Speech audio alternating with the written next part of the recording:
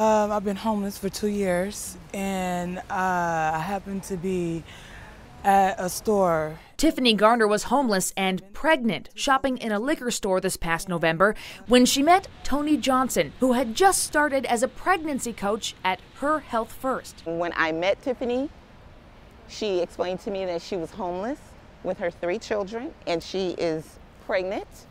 And after that, I just put on my running shoes and did all the resources and found all the resources. Thanks to Johnson, Garner and her children now have shelter and access to health care and parenting education. My advice personally for all my young youth and definitely pregnant moms is to get in this program. It's, it's here, it's free, and they, they help. They help, period. This life changing relationship falls under the umbrella of the Black Child Legacy Campaign. One of the partners. Sacramento County supervisors heard good news at their meeting Tuesday.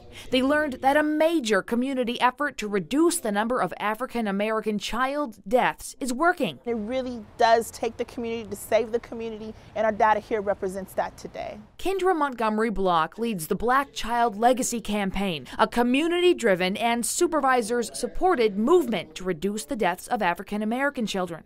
The numbers released Tuesday from 2016 show black youth deaths are on the decline in three of the four leading causes of death for that group infant sleep related deaths, child abuse and neglect homicides, and third party homicides all saw decreases thanks to the more than 70 community partners countywide. And there are strategies that they're implementing on the ground in neighborhoods to save lives. Lives like Tiffany Garner's. You're not alone, you're not doing it by yourself. Becca Habegger, ABC 10 News.